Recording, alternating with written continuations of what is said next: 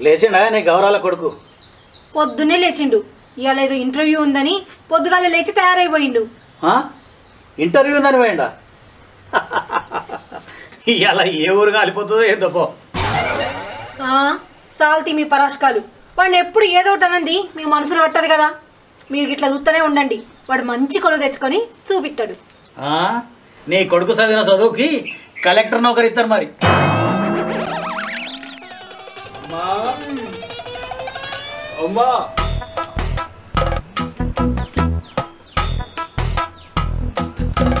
నువ్వు ఇంట్లోనే ఉన్నావురా? మీ అమ్మేమో నా కొడుకు పొద్దున్నే లేచి కొలువు తీసుకురాను పోయిండు అని చెప్తాంది. నువ్వేమో మందలోంచి మద్దెడిసిన గొర్రె పిల్ల లెక్క ఇప్పుడే లేచేస్తున్నావు. పొద్దున్న ఇంటర్వ్యూకి పోయిండని కోతలు ఆ? ఏమైందిరా? ఇవాళ ఇంటర్వ్యూ ఉందన్నావు పోలేదా? ఆహా, అది ఇలా కాదమ్మా రేపు. ఓహో ఇయ్యాలి కదా? రేపా? నేను ఇయ్యాలి అనుకున్నా. మంచిగున్నారా? అమ్మకు దగ్గ కొడుకు కొడుకు దగ్గ అమ్మ. ఇద్దరిద్దరే. మస్తు చేస్తుండ్రా. వాడిని గౌరవం చేసి చేసి వీడి దాకా తీసుకొచ్చినావు. నేనేం చేసినా? ఆ? నేనేం చేసినా అంటున్నావు. వాడు నిన్న పగటిలి ఏడికి పోయిండు అడుగు. ఎక్కడికి పోయినవరా? నేను ఎడిగానమ్మా గా రవి అని పొలంలకు టమాటాలు తెద్దామని పోయినా. నువ్వే కదా కూరగాయలు తెమ్మన్నావు? రే వాళ్ళు వేసింది మక్క చేను. నువ్వేమో టమాటాలు తీసుకొద్దామని చెప్పి వాళ్ళ చేను కడికారు అంటే నాన్న ఆ మక్క చేనులా గట్ల పండి టమాటా చెట్టు పెట్టిరు అమ్మా ఉంటాయా ఉండయా ఉంటాయి ఉంటాయి. ఎందుకురా నాకు కథలు చెప్తావు? అబద్ధం చెప్పినా కానీ అతికినట్టు ఉండాలంటారు. నువ్వు నేను ఏం చేసినావు నాకు తెలియదు అనుకున్నావా? నువ్వు ఆ మల్లేష్ గాడు ఆ సురేష్ గాడు ఆ వెంకటయ్య కొడుకు రవి గాడు మీరందరు కలిసి తాళ్ళలో పోయి తెల్లగల దాగుడు ఆ పక్కనున్న చింత గుంపలు పట్టుకొని ఊగుడు మీరందరు మీ ఫోన్లలో ఫోటోలు తీసుకున్నాడు దుంకుడు ఇవన్నీ నేను చూడలేదు అనుకున్నావారా అన్నీ నేను చూసిన ఇవే వాడు నిన్న చేసిన కథలన్నీ. సరే గాని నువ్వు అటెందుకు పోయినవయ్యా? ఇల్లు గాలి ఓడెడతా ఉంటే చుట్టకు నిప్పు కావాలని ఒకటేడిచిండట? అరే నువ్వు కట్టేందుకు పోయినావురా అని వాడిని అడగక నువ్వు నా గురించి అడుగుతావేందే? ఆయన గట్లనే కొడతాడు కానీ నువ్వు పోయి మొహం కడుక్కోరా. వాడిని గిట్లనే ఎనికేసుకొచ్చి ఎనికేసుకొచ్చి ఇక్కడ దాకా తీసుకొచ్చినావు. ఆ, ఇది మంచిగానే ఉంది. అటు పోయి ఇటు పోయి నువ్వు మళ్ళీ నా మీదకి వచ్చినవా? నీతో ఒర్రుకుంటూ కూర్చుంటే నాకేడైతుంది నాకు ఇంట్లో పని ఉంది. నేను పోతున్నా. అరే నువ్వు పోయి మొహం కడుక్కోరా. చాయ్ పెడతా. కొడుకేమో మాట అయినాడు. పిల్లలేమో మాట రానియది ఏం చేద్దాం? ఇట్లా తయారైంది.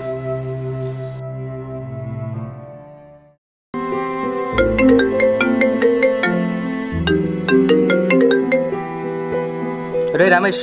అరే ఏంద్రా చెప్పు? అరే మామ ఈరోజు మా ఇంట్లో ఎవ్వరు లేరు. దావా చేసుకుని తొందరరా అరే మెల్ల మాట్లాడరా మా ఇంట్లోనే ఉన్నాడు. ఒక రౌండ్ వేసుకున్నాడారా అరే గట్టిగా నేర్చుకున్నారా మనం నిన్న తాళాల తాగింది చింతకొమ్మలు పట్టుకొని ఊగింది. ఫోటోలు దిగింది మొత్తం చూసిండట్రా సరే తొందరరా సరే నేను అత్తనాను నువ్వు పెట్టి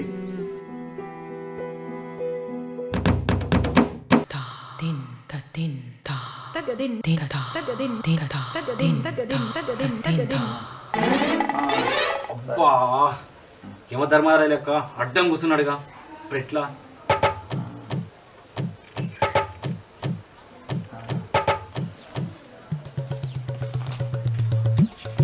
అమీన్ సాబ్ పొద్దున్నే పోతుండు. యాడికో? అది నాన్న ఎల్లుండి ఎగ్జామ్స్ ఉన్నాయి కదా నా బుక్స్ రవికాంత్ దగ్గర ఉన్నాయి పోయి తెచ్చుకుందామని. రవిగాంత్ దగ్గరికి పోతున్నావు వానికి ఏం రాదు. నువ్వు వాని బుక్స్ తెచ్చుకుందామని పోతున్నావు. సరే సరే. పోయి తొందర తీసుకొచ్చుకపో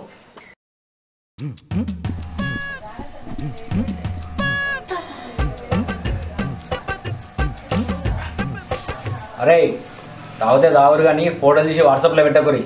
అసలే మా అయ్య నా మీద బాగారం ఉన్నాడు. ఏందిరా మీ అయ్యకి గంట భయపడతావు నువ్వు? ఏ వానికి వాళ్ళ అయ్యంటే గజ్జురా. ఏ అదేం లేదురా పెద్ద మనిషిని ఊకుంటున్నా. లేకపోతే లేకపోతే ఆ, లేకపోతే ఏం చేస్తావురా? ఏంద్రా మాయ లెక్క మాట్లాడుతున్నావు? ఏంద్రా అని మస్తు మంది చూసిన మాయ భయపడదా అనుకుంటున్నావా? నువ్వెందుకు భయపడతావురా? నువ్వు భయపడవురా? నువ్వు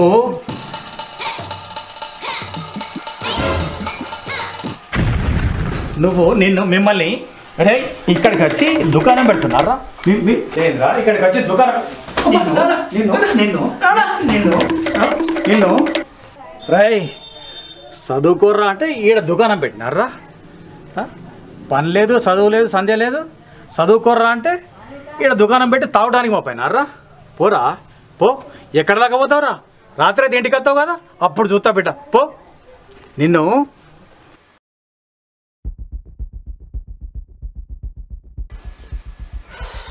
ఏమైందయ్యా? ఏం ఆలోచిస్తున్నావు?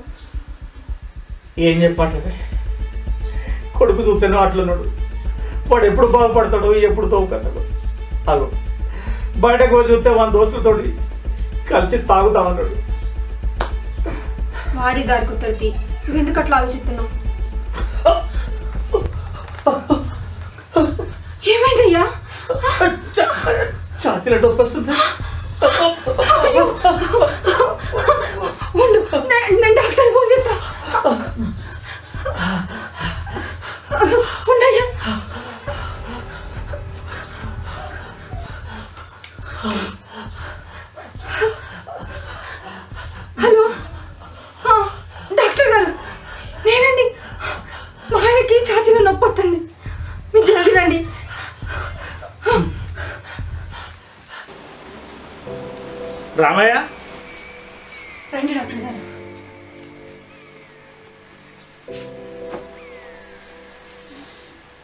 ఏమైందమ్మా?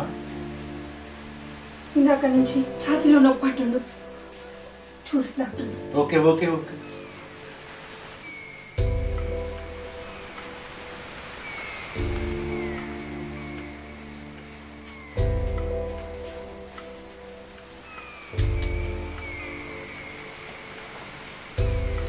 Ramayya శ్వాస గట్టిగా తీసుకో.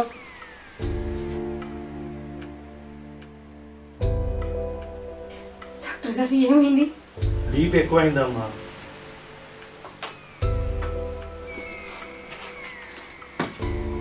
టాబ్లెట్స్ ఇస్తున్నా. ఈరోజు సాయంత్రం ఒకటి రేపు ఉదయం ఒకటి వేయండి మళ్ళీ రేపు మార్నింగ్ వచ్చి చెక్ చేస్తాను. తగ్గకుంటే పెద్ద ఆసుపత్రికి తీసుకెళ్ళండి.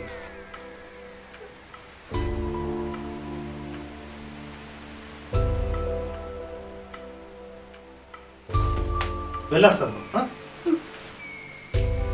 మా.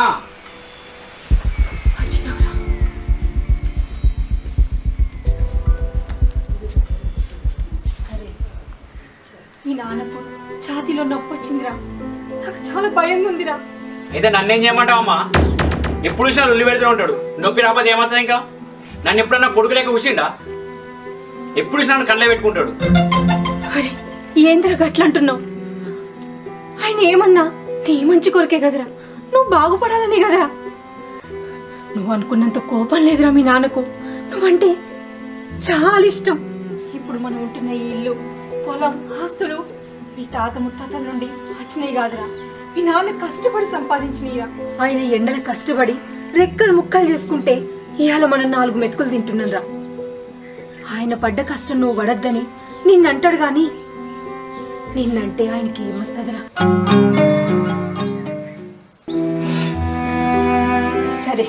నువ్వు పోయి తిని పండుకో. రేపు మాట్లాడుకుందాం.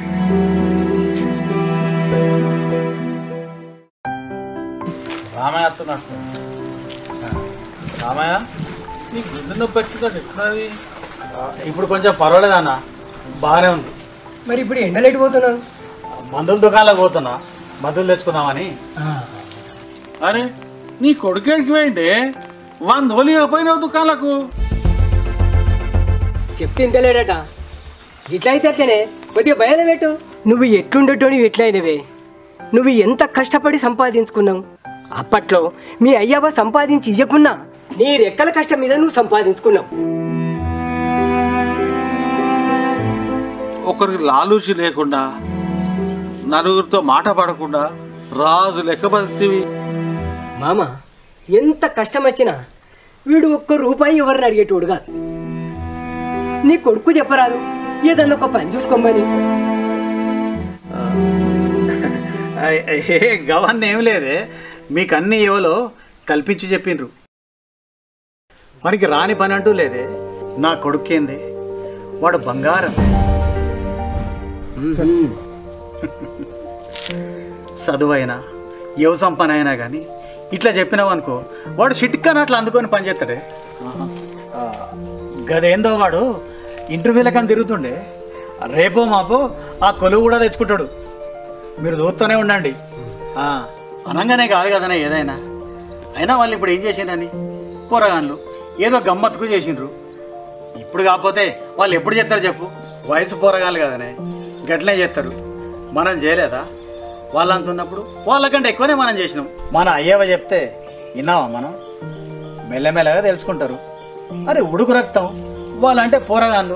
వాళ్ళకు మెల్లగా సంజాయించి మనమే చెప్పాలి. సరే సరే. వస్తాం మరి. మా నాన్న మనసు తెలుసుకోలేకపోయినా బయట వాళ్ళు నన్ను ఏమన్నా మా నాన్న నన్ను వెనకేసుకొచ్చిండు కానీ వాళ్ళ ముంగట నా పరుగు తీయలే. సారీ నాన్న నిన్ను అర్థం చేసుకోలేకపోయినా.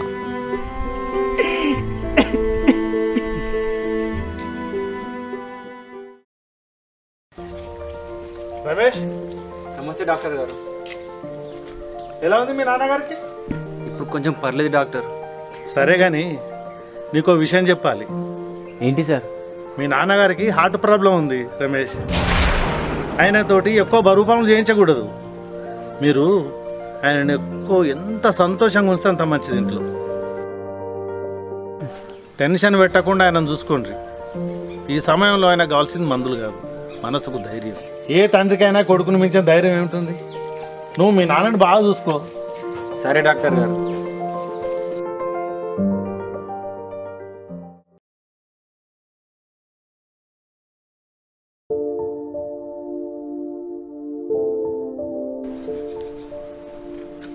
ఏమే? రమేష్ ఎటు పోయిండు? ఇక్కడ దాకా పోయేస్తా అన్నాడు. సరే నేను అట్లా మనం పొలం దాకా పోయేస్తా. నిన్న కూడా పొలానికి నీళ్ళు పెట్టలే. పైపులు జరిపోతా తడారిపోయింది కావచ్చు పొలం అంతా. జర నీళ్ళు పెట్టి వస్తా మీరెందుకండి? అసలే మీ ఆరోగ్యం మంచిగా లేదు. ఆడొచ్చినాక పోతాడు వాడు ఎక్కడికి పోయిండో ఏమో ఎప్పుడు వస్తాడో ఏమో. నేను బయకాడ దాకా పోయేస్తా.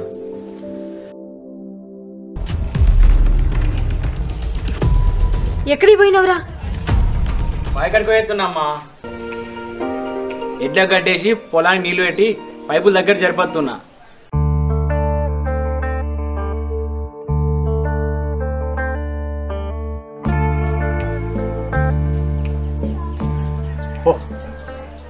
పోయి కాజలు కడుక్కొని అన్నం తినిపోరా. సీత వారికి అన్నం పెట్టుకోవాలి సరే అన్న.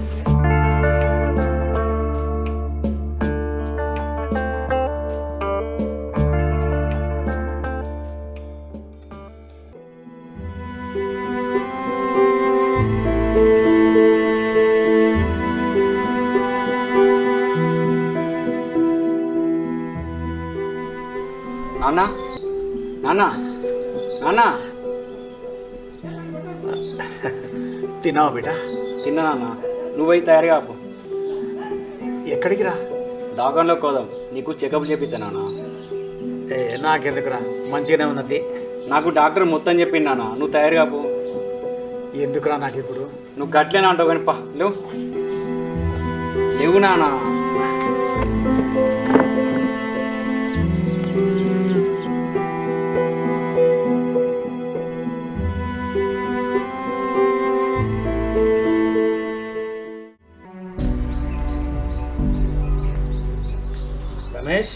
ఆ నాన్న. సీత సీత. అమ్మా. అమ్మా నాన్నని హాస్పిటల్కి తీసుకువెళ్తామ్మా. సరే. పైలంగా పోయేదని సరే అమ్మా. పోయేస్తాం సీత. పద నాన్న. ఒరే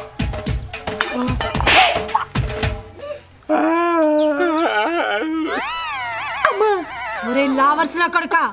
ఇంకోసారి ఇటువంటి పిచ్చి పిచ్చి లెక్కలు చేసిన అనుకో చెమ్డల్ చెమ్డల్ తీస్తా బిడ్డ. ఇక్కడ బీపీ భద్ర.